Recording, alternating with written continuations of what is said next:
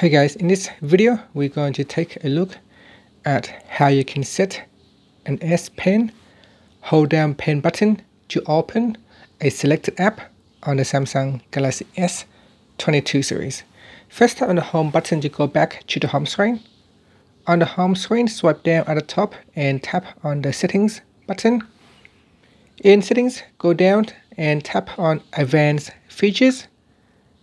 Then we go down and tap on S Pen. Next at the top here, tap on Air Actions. Then we select Hold Down Pen button 2. By default, it is set to camera. So in here, if I press and hold on the button, it will launch the camera app. Now you can, um, sorry, I go back in here. Now you can uh, set it to open up a number of different apps such as Create a Note, Smart Select, screen write and you got translate magnify and so on. Then you got suggested apps down here. Uh, you got camera gallery internet voice recorder samsung notes chrome clock office. And then you can go down to the all apps section and basically you can open up any available apps that you have installed on your device.